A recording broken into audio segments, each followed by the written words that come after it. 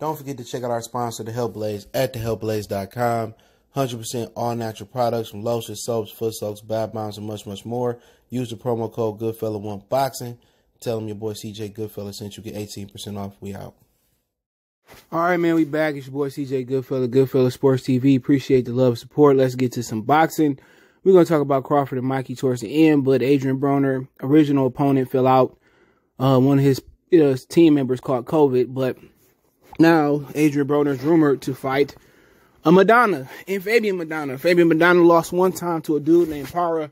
I remember he's supposed to fight um, Klimov, a guy that Crawford beat early in his career um, at some point, and I don't think they fought. I think the car, the fight fell out. But I mean, I guess that makes sense. Fabian Maidana, he, he lost uh, a while ago, and he just won. He finally got a win back, so he on a winning streak. The guy he was originally supposed to face, Adrien Broner, I mean, he wasn't a guy nobody knew. So, I mean, really, this could be an upgrade, especially if Maidana can be in attendance or something of that nature. And Adrien Broner at the point where he need quick money, he need easy money. If they put Adrien Broner in there with a top five, 140 pounder, I mean, I mean, I think Taylor Ramirez would stop the undisputed fight if they could to fight Adrien Broner.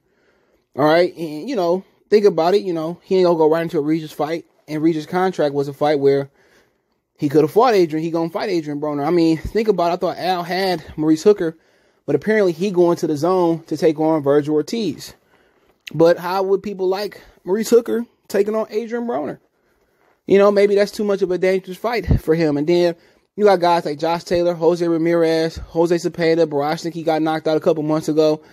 I mean, uh, Cesados. I mean, they could have did a better job than the original opponent, you know, Campa. I mean, you could have went to 135 and got somebody. You could have called up Richard Commey. You know, you could you could have called up anybody. See, they could have offered Adrien Broner, uh, Lomachenko, excuse me. This is what I'm talking about. They gonna throw on this card on Showtime just because, excuse me, just because it's Adrien Broner and think it's gonna sell. You know, I'm not gonna waste my time if I ain't got it to watch him beat up on Fabian Maidana. Okay, I'm not. You know, when he fight Regis Prograis, wake me up. I mean, they could have did Barrios versus Broner. You know, but they don't want no threat. Asia Broner thrives on guys, you know, who are below him. His whole career is built on fighting guys average or below. Let's keep it real, or just above average. What's his best win? Paulie Malignaggi on the downslope. DeMarco, you know what I'm saying? Guys like John Molina, Escobedo, you know, can anybody even name the guys he won a title versus? Emmanuel uh, Taylor. Like he ain't go to 35 and beat Crawford. you know what I'm saying? He didn't go to 35 and, and you know beat a Lomachenko, even though he wasn't there. You know he didn't fight Gamboa when he was down there. You know he didn't fight uh, those top rank guys. None of those guys down there. He didn't beat a Mike. He got beat by Mikey at 140. So I mean, a lot of people got make a case that Broner should be in the Hall of Fame, but you know if you he's a product of uh He's a product of matchmaking. Let's keep it real. If there were only two belts, would Adrien Broner even be a champion? Let's keep it real. No. And I got love for AB, but he wouldn't have been a champion. At 126, a lot of people thought he lost to Daniel Ponce de Leon. He wasn't even a champion. I mean, at 130, excuse He wasn't even a champion. I can't even think who was at that division down there. You know, you put him at 35 at the time. Would he beat Terence Crawford? Maybe, maybe not. Who knows? You know, he put him at 140 pounds. He beat Khabib. You know, I forget the dude's whole name. He beat Khabib, but to be honest, let's keep him one one humbug. Adrien Broner is a product of matchmaking. And on the other eye, Adrien, I mean, Gennady Golovkin is a product of matchmaking. You know, but only one get flat. Everybody get AB flat, but AB tried. He fought Shawn Porter. You know what I'm saying? He, he tried to fight the best. When he did, he, he lose. He fought Mikey Garcia. Lost. You know, can't say the thing about Golovkin. If if Canelo only bought a penny to the table, bought regular pay for Golovkin to the table, would Gennady Golovkin had took that fight? Absolutely not. Golovkin won a shot to fade. Let's keep it one humbug.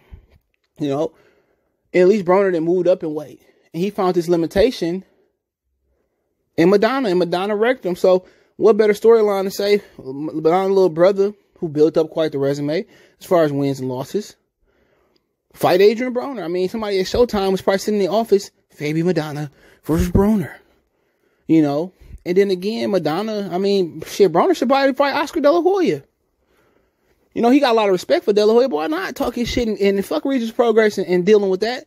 You know, Regis Prograis a talented fighter. Why don't he throw his ring in his hat in the ring and fight De La Hoya? AB can move up to 154 pounds and probably still be the old De La Hoya. If not, people think it's competitive. Adrien Broner been done, been gone for a while. Oscar De La Hoya been gone for a long time. I can see it now. AB versus Oscar De La Hoya.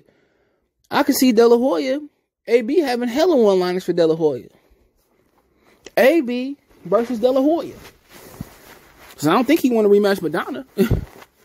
you know, if, if they're not gonna give AB Floyd, why not get AB Oscar De La Hoya? That's it. And if De La Hoya do what he supposed to do versus Adrien Broner, then they could do the Canelo fight. Which Canelo gonna dust his ass off. We know that. Canelo ain't playing no games. he already don't like the Oscar shit. They might ha- might have a stretcher waiting at the end of the ring at the end of the sets for Oscar.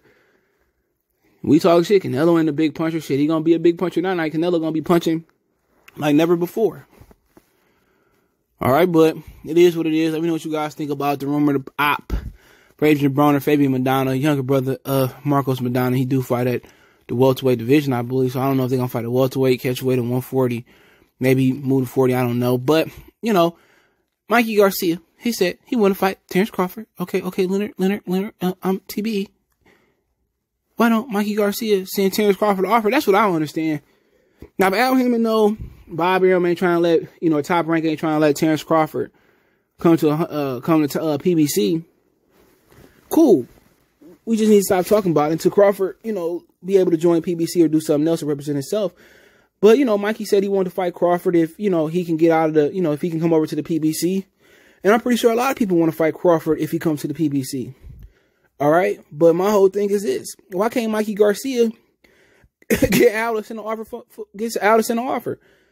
And if it's just to the point where Al only want to make in-house fights like Bob only want to make in-house fights, then we get it. If, if, if Al don't want to pay Terence Crawford to come across the street and fight Mikey, you know, then we get it. Then we, we can't pump fake and say, well, PBC ain't sent the offer, or Crawford ain't sent the offer, or Mikey ain't sent the offer. We can't pump, we can't pump fake no more.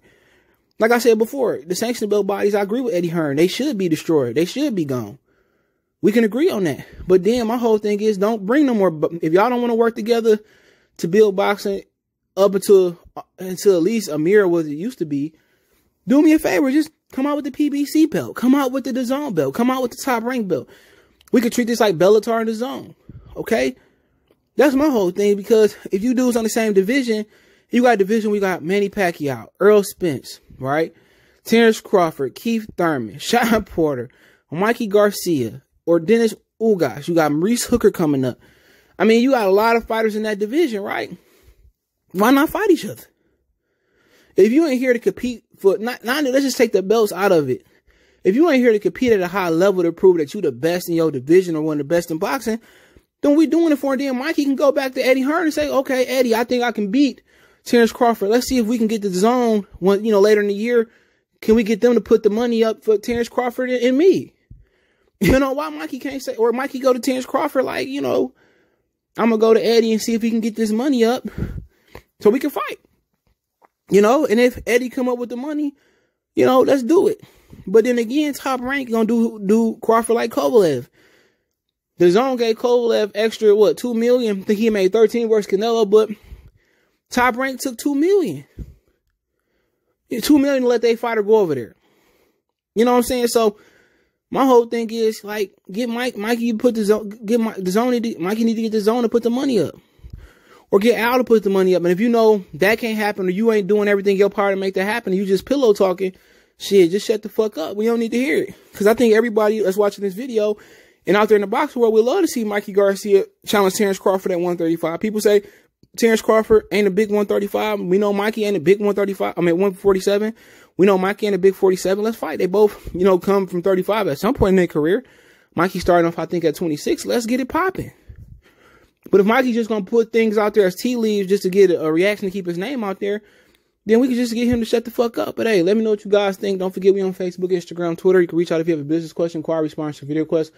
All my social media links description. Fast way to reach me is Twitter and Facebook and Instagram. We also have a Facebook group. All those links in description. Want to make a donation to the channel? Cash App CJ Good 313. That's in the description. Uh, PayPal link in description as well too. Best way to donate. Share the video. Appreciate the love, support. One time for the one time. It's your boy CJ Goodfella, Goodfella Sports TV.